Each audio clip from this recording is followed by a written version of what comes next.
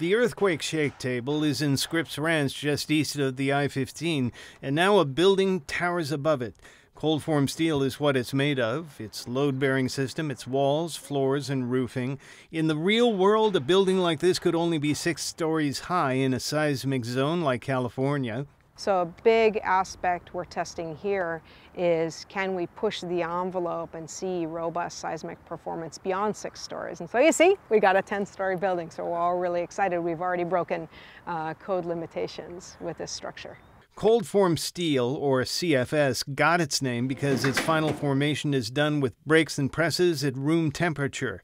It's supplied to builders in coils of thin steel. The raw material is sheet steel. It's some of the same steel that goes into the automotive industry to make fenders and bumpers and hoods. Don Allen works with a steel construction industry group. He says cold form steel is recycled steel. The material comes from old cars, fridges, ovens. That steel is melted down and pressed into sheets that are less than a tenth of an inch thick. But Allen says CFS is surprisingly strong. And the thing is, once you melt it down and get it back down to its iron molecules, then you can make steel out of it that's stronger than the original steel. So if you're making a refrigerator, that side of that refrigerator doesn't have to be very strong at all, but you can melt that down and make this stuff that can carry these 10, 15 story structures. The advantages of cold form steel include its small carbon footprint due to recycling. It's non combustible, very strong, but very lightweight.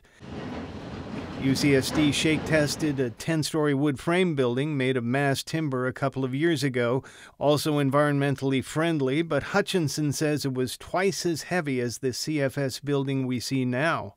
Now, if you're in a seismic realm, the earthquake realm, lightweight uh, materials are fantastic because um, the forces that we're going to generate are directly proportional to the mass that we put into the structural system. So if we can lighten up the structural system, we can reduce those seismic, what we call seismically induced forces. The cold form steel building will be tested on the earthquake shake table on Monday. If the test is successful, Hutchinson hopes to see a code change to allow greater use of the material in the near future.